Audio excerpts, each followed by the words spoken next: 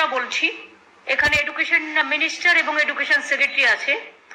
এক হচ্ছে eight nine ten eleven twelve university colleges এগুলো তিন তারিখ থেকে শুরু হয়ে যাবে। তার কারণ চার তারিখে আর পাঁচ তারিখে সরস্বতী পুজোর ছুটি দেওয়া আছে। তিন তারিখ স্কুলটা খুললে ছেলে মেয়েরা সরস্বতী পুজোটা করতে পারবে। চার পাঁচ, ছয় পর পর চার, পাঁচ দুদিন ছুটি দেওয়া আছে।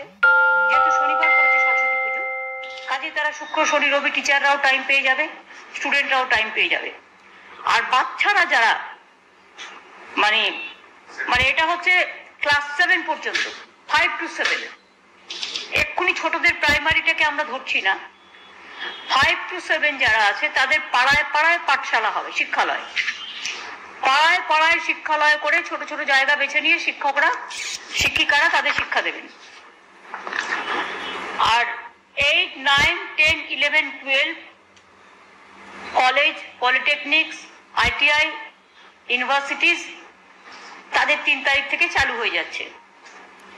এবং তিন তারিখে চালু হয়ে যাচ্ছে এই কারণে চার পাঁচ সরস্বতী পুজোর ছুটি আছে। প্রত্যেকটা শিক্ষায়তনে আমরা জানি যারা সরস্বতী পুজো করেন।